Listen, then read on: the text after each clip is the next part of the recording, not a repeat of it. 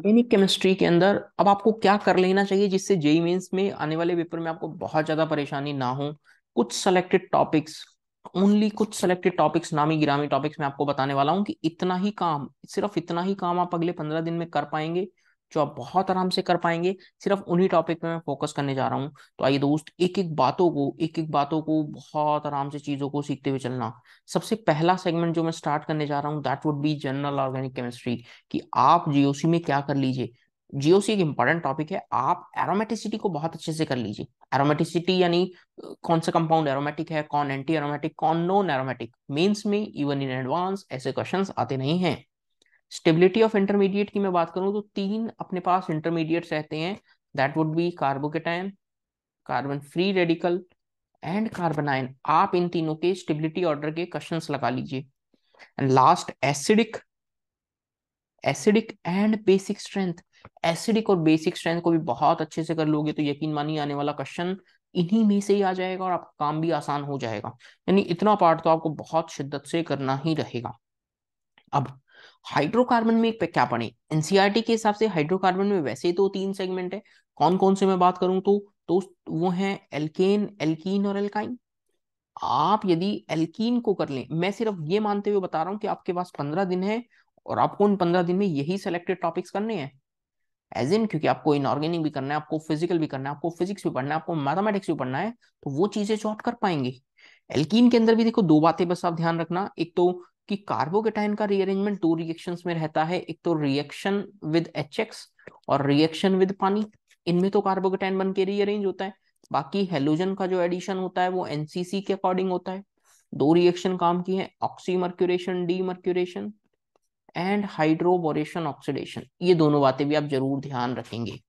इतना इतना बस।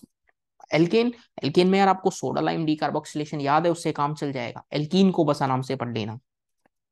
अब बताती है क्लास ट्वेल्थ में, चैप्टर नंबर टेन में, दैट इज़ हेलोएल्केन्स हेलोएरीन्स थोड़ा सा इंपॉर्टेंट है, इसमें कहा, नामी गिरामी बात तो आपके चार पढ़ के जानिए ज़रूर। S N one S N two E one और ई e टू आप सब्सटीट्यूशन और एलिमिनेशन दोनों पढ़कर जाएँगे, अच्छे से वो भी। उसमें भी कौन डोमिनेटिंग है? सब्सटीट्यूशन और एलिमिनेशन में दोस्त, ध्यान रखना एलिमिनेशन डोमिनेटिंग है। सब्सटीट्यूशन और एलिमिनेशन में डोमिनेटिंग कौन? एलिमिनेशन इतनी बात आप ज़रूर ध्यान रखते हुए चलेंगे। और यहाँ से जो चार एम्बिडेंटेड न्यूक्लियोफाइल की रिएक्शन है कौन कौन सी? एल्काइल की रिएक्शन एनएसीएन के साथ। एजीसीएन के साथ। के एनओ टू के साथ और एजीएनओ के साथ। ये चारों रिएक्शंस भी आपको ज़रूर देखते हुए जानी है। इतना काम आप कर लेना। हेलोएरिन्स में हेलोएरिन्स में जो इंपॉर्टेंट पॉइंट है यही है कि बेंजीन पे लगा हेलोजन नहीं जाता, लेकिन कभी इलेक्ट्रॉन विड्रॉइंग ग्रुप लगा दूँ। लेकिन कभी इलेक्ट्रॉन विड्रॉइंग ग्रुप लगा दूँ तो ये रिएक्शन हो जाती है। Reaction is S N two R आप सिर्फ़ इतना ध्यान रख लेना। आप सिर्फ़ इतना ही ध्यान रख लोगे तो आप पाएँगे कि आप चीज़ों को रिवाइज भी कर पा रही हैं और काफ़ी सारे नामी गिरामी काम के पॉइंट्स आपके कब्जे में भी आ गए हैं। एल्कोहल फिनोल ईथर काफ़ी इंपॉर्टेंट है। एल्कोहल से दो बातें। एक तो लुकाज रिएजेंट क्योंकि ठंड है तो देखो राइटिंग थोड़ा बहुत ऐसा हो सकता है। काफ़ी ठंड है यार, आप जहाँ पे होंगे, वहाँ पे भी शानदार ठंड हो रही होगी। लुकास रिएजेंट कौन से डिग्री का अल्कोहल सबसे तेज रिएक्शन देता है? तो ध्यान रखना three degree alcohol then two degree then one degree instant turbidity मिलता है, क्योंकि कार्बोकेटाइन बनता है इंस्टेंट टर्बिडिटी फिनोल में नामी गिरामी रिएक्शन से दोस्त फिनोल में एक तो Reimer Tiemann reaction Reimer Tiemann reaction अगले में काम की बात करूँ तो यहाँ पर दोस्त फिनोल की रिएक्शन फिनोल की रिएक्शन आप ब्रोमीन वाटर के साथ ज़रूर पढ़कर जाएँगे। फिनोल की रिएक्शन ब्रोमीन वाटर के साथ पढ़कर जाएँगे और ब्रोमीन प्लस कार्बन डाइसल्फाइड के साथ पढ़कर जाएँगे।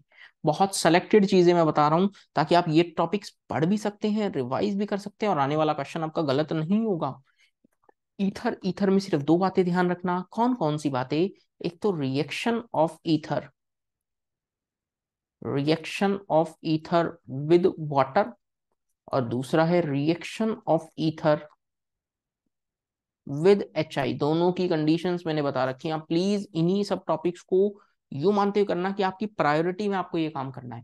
प्रायोरिटी में आपको काम करना है क्योंकि आपके पास यू नहीं है ना कि आपके पास कंटेंट थोड़ा है, आपके पास नंबर ऑफ़ चैप्टर्स कम है, आपके पास बहुत सारे चैप्टर्स हैं। यदि आप सारा रिवाइज कर पा रहे हैं well and good but last moment पे ये सारी चीज़ों को एक बार दोबारा से अच्छे से देखकर ज़रूर जाना, क्योंकि क्वेश्चन आएगा तो आप वो सही कर लोगे। कार्बोनिल कंपाउंड्स वैसे महा इंपॉर्टेंट चैप्टर की कैटेगरी में है, जिसमें सबसे पहले तो आपको हेलो फॉर्म पढ़ना है। हेलो फॉर्म मैंने सारी नेमिंग रिएक्शन पढ़ा भी रखी है। आप वीडियो का डिस्क्रिप्शन भी चेक कर सकते हैं, या इवन सर्च भी कर सकते हैं। Naming reaction by with my name Anirudh Walia आपको वीडियोस मिल भी जाएँगी। हेलो फॉर्म अगला नामी गिरामी reaction aldol reaction and third is Cannizzaro आप ये तीनों चीज़ भी पढ़ लोगे तो आप मानिएगा कि आपका काम आसान हो गया है। उसके बाद परकिन यूजुअली मीन्स नहीं पूछता, बस परकिन का प्रोडक्ट क्या बन रहा है सिनेमिक एसिड बनता है, वो आप ध्यान रखना, ठीक है? ये तीनों इंपॉर्टेंट है। ये तीनों इंपॉर्टेंट है, आप तीनों को बस एक बार देख कर चल जाना कार्बोनिल खत्म। यानी आप यकीन मानिए, पंद्रह दिन में आप इनको बहुत शिद्दत से, बहुत आराम से पढ़ भी सकते हैं। अमाइंस छोटू है बट इंपॉर्टेंट है इंपॉर्टेंट चैप्टर है। काफ़ी सारी चीज़ें हैं यार, इसमें तो काफ़ी सारी बातें हैं मेरे को जो बतानी है। Gabriel phthalimide phthalimide synthesis only one degree aliphatic amines के लिए। Carbylamine test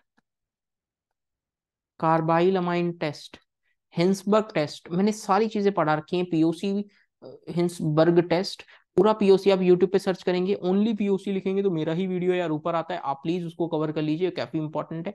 practical organic chemistry सारे लैब टेस्ट एक शॉट में पढ़ा रखे हैं, ज़रूर देख कर जाना। Gabriel phthalimide carbylamine test Hinsberg test अगला reaction Hofmann bromamide test Hofmann bromamide reaction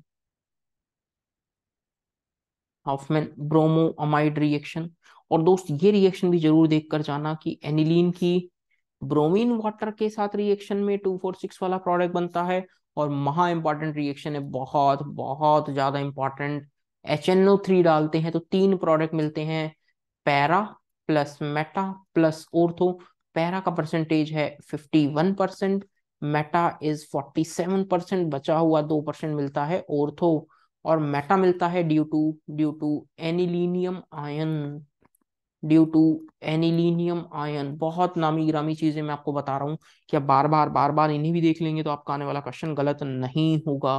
काफ़ी इंपॉर्टेंट टेस्ट रह जाते हैं।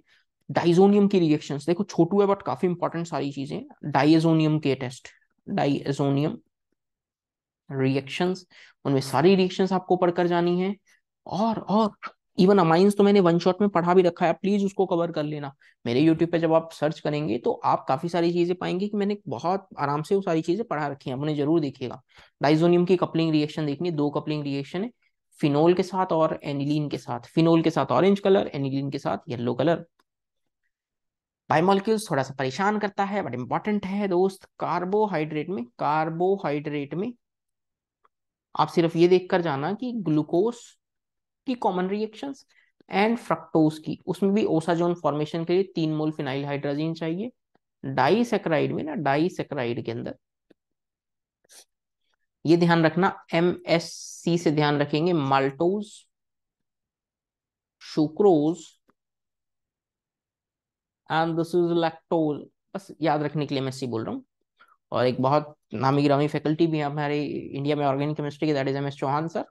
उन्हीं से मैंने लिंक करते हुए इसको ध्यान रखता रखता हूँ और क्लास में भी इसी तरह बताता हूँ। That is maltose sucrose and lactose इसमें ध्यान रखना शुक्रोज जो है वो एक नॉन रिड्यूसिंग शुगर है। Sucrose is a non reducing sugar ध्यान रखेंगे क्या ये वाला पॉइंट नाउ थोड़ा सा आगे चलते हैं, थोड़ा सा आगे चलते हैं। पोलीसेक्राइड में दो बातें बस ध्यान रखना पोलीसेक्राइड के अंदर। पोलीसेक्राइड आपको बस देखना है स्टार्च और सेलुलोज के बारे में। अमीनो एसिड की सारी ट्रिक्स मैंने पढ़ा रखी है। प्लीज़ एक बार अमीनो एसिड गो थ्रू ज़रूर कर लेना। अमीनो एसिड गो थ्रू ज़रूर कर लेना। यानी यानी पॉइंट बस इतना ही ध्यान रखेंगे तो आपका क्वेश्चन सही हो जाएगा। बहुत ज़्यादा आपको परेशानी नहीं होगी। विटामिन को आप चाहे तो रीड कर सकते हैं। और मैं एक रिकमेंड कर रहा हूँ, मैं एक रिकमेंड कर रहा हूँ। मैंने एक वीडियो बना रखी है। आई थिंक पंद्रह से बीस मिनट की होगी। सारे lab test of biomolecules lab test of biomolecules का वीडियो ज़रूर देख लेना। कोई भी आपको टॉपिक पढ़ना है ना, मेरे नाम से वो टॉपिक सर्च करना आपको ज़रूर मिलेगा। आप उसका वीडियो देखें और टॉपिक को कवर करें। यानी जितनी बातें बस मैंने बता दी आपको, जितनी बातें मैंने आपको बता दी हैं, उतनी ही बात आप कवर कर लोगे। पंद्रह दिन में आप इनको आराम से निपटा भी सकते हो। इवन दो बार आप ये सारी चीज़ें पढ़ लोगे ना तो यार आने वाला क्वेश्चन मैक्सिमम इन्हीं से आएगा और आपका काम आसान हो जाएगा। आप वो टॉपिक आराम से कवर भी कर लेंगे। उम्मीद कर रहा हूँ ये बातें जो मैंने आपको बताई हैं ऑर्गेनिक केमिस्ट्री में आपको हेल्प होगी। इनमें भी इंडिविजुअली यदि आपको पढ़ना है कि सर पंद्रह पंद्रह मिनट में ये चैप्टर पढ़ाई दो ना क्या क्या इंपॉर्टेंट है। तो मैं वो काम भी कर दूँगा ताकि आपकी हेल्प हो जाए और आप वो टॉपिक कवर कर लें। ठीक है? इनऑर्गेनिक ऑर्गेनिक के लिए भी ऐसा कुछ सीक्वेंस चाहिए तो ज़रूर बता देना। उम्मीद कर रहा हूँ ये सारी बातें आपको क्लियर हो गई होंगी। ठीक है? सेशन को फिर यहीं पे रोक रहा हूँ और चैनल को सब्सक्राइब कर लेना। This is your Anirudh Walia और कोई भी सेगमेंट आपको चाहिए तो कमेंट करके ज़रूर बताना, उस पर वीडियो में शेयर कर दूँगा। Good luck for your JEE Mains